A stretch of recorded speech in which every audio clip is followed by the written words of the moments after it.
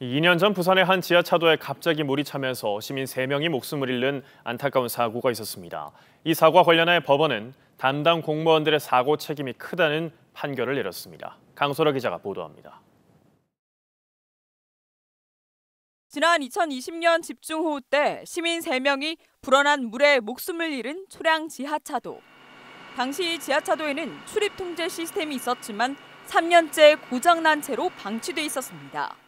1심 선고에서 법원은 업무상 과실치사 혐의로 기소된 당시 부산시와 동구청 재난 관련 부서 공무원 11명 모두에게 유죄를 선고했습니다. 비상근무 없이 본분을 다하지 않은 동구전 부구청장 A씨에게는 금고 1년 2개월이 선고됐습니다. 안전장비 고장을 수리하지 않은 전 기정계장 B씨에게는 금고 1년이 선고됐습니다. 나머지 공무원들에게도 징역과 금고형의 집행유예, 벌금형 등이 선고됐습니다. 재판부는 매뉴얼이 있더라도 실제 상황에서 작동하지 않으면 물거품이 된다고 꼬집었습니다.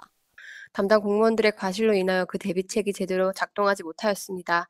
그 주의 의무를 다하지 못한 공무원들인 피고인들에 대하여 사고의 발생 및 결과에 상응하는 책임을 인정한 판결입니다. 유족은 해당 참사가 인재인 점이 인정됐다며 판결을 환영했습니다.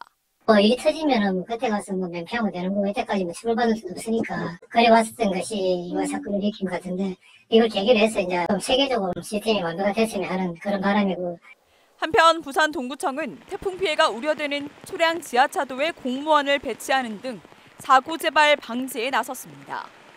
KNN 강소라입니다.